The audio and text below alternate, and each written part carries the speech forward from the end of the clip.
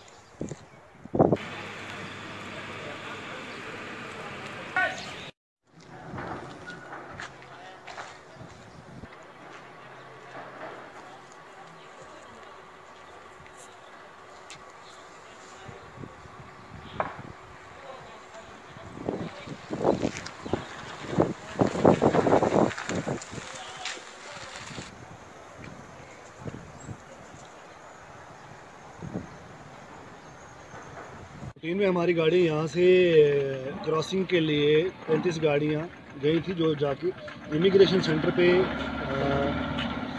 کوئی قانونی کاروائی جو ہوتی ہے، ہمارے پیپرز وغیرہ چیک ہوتے ہیں، وہاں رکی تھی۔ تو اسی اسنا میں بارڈر پہ جو ہے فائرنگ سٹارٹ ہوگی اور بیچ بیچ میں شیلنگ بھی ہو رہی تھی۔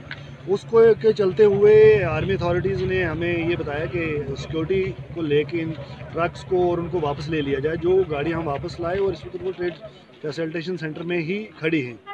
اور ابھی تک یہی ہے کہ اب وقت کافی ہو چکا ہے۔ ابھی ہمیں آرمی اتھارٹی سے کوئی اور انفارمیشن آئی نہیں ہے۔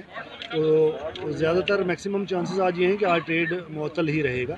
اور فردر سیکیورٹی کو مد نظر رکھتے ہوئے کل کا ڈسیزن جو ہے وہ کل ہی لیا جائے تو کتنے سارے ٹرک باہر جانے تھے پی آج پینتیس ٹرک ہمارے یہاں سے گئے تھے جو امیگریشن سینٹر سے جا تو کیا کیا سامان جا رہا تھا سر باہر سامان فریش فروٹس تھے اور کچھ ڈرائی آئٹمس تھی۔ وہ مکس جو ٹوئنٹی ون اپروڈ آئٹم انہیں میں سے کچھ آئٹم جاتی ہیں ایز پر ڈیمانڈ